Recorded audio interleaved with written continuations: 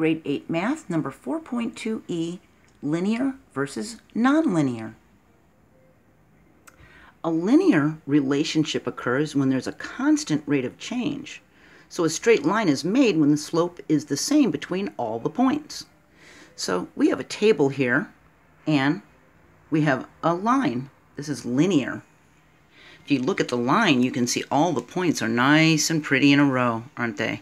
We can look at our table. This is point 1, point 2, point 3, point 4, point 5, and we can find the rate of change, the slope between the points. So if we follow the slope formula and do our second y value, take away our first y value, and our second x value, take away our first x value, we can find our slope and the rate of change. So for the first one, we're going to take 0.2 and subtract 0.1's values. So we've got 6 take away 8 and negative 3 take away negative 6. 6 take away 8 gives us a negative 2. Negative 3 take away a negative 6. Well, remember when you subtract a negative, you add the opposite. So negative 3 plus 6 would be a positive 3. So we've got negative 2 over 3 as our slope. And that's for these two points. Now we're going to compare 3 to 2. So we've got 4 take away 6 and 0 take away negative 3. 4 take away 6 is a negative 2, and 0 take away a negative 3. We add the opposite, so it's 0 plus 3, we get 3. Look, it's the same. Negative 2 over 3. Now we're going to compare 0.4 to 0.3. We have 2 take away 4 and 3 take away 0. 2 take away 4 is a negative 2, and 3 take away 0 is a 3 again, we have negative 2 over 3. We've got the same slope. And we do the last point, 0 take away 2 and 6 take away 3, and that's going to give us, again, a negative 2 over a 3. So the rate of the change is the same. The slope is the same. So this is linear. It's got the same rate of change for the slope. So each point, the slope is going down at the same rate. So we've got a nice smooth line. See that? Now let's take a look at this one. This one's nonlinear. A nonlinear relationship occurs when there's an inconsistent rate of change. The line is not straight when the slope changes between the points.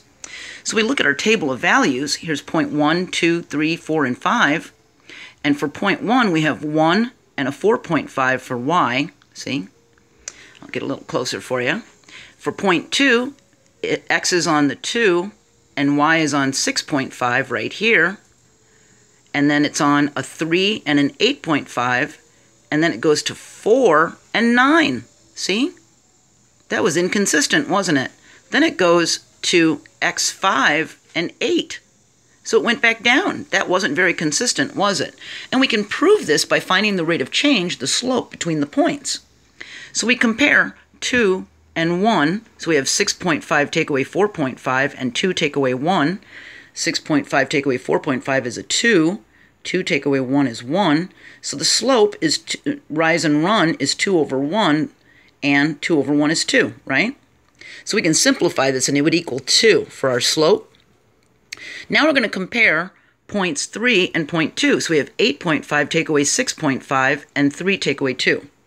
8.5 take away 6.5 is 2 again. 3 take away 2 is 1. It's 2 over 1 again. Well, that's kind of nice, isn't it? It's the same. So far, you'd think that our slope is the same and we'd have, it would be linear, right? Then we do the next one. We do 0.4 to 0.3. So we have 9 take away 8.5 and 4 take away 3 for our slope formula. Well, 9 take away 8.5 is only 0.5. 4 take away 3 is 1. Hmm. That's 0.5 over 1 that is not the same as these, is it?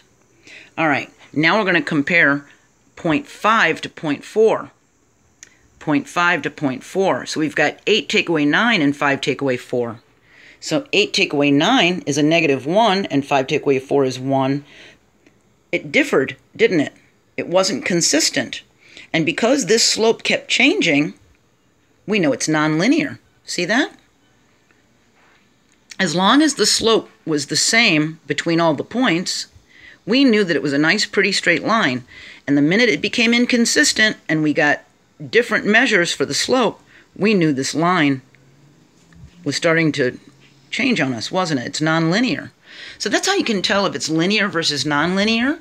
You can use the slope formula. You can even look at the table. We could have just looked at this table and we could tell that these numbers are not consistent, right?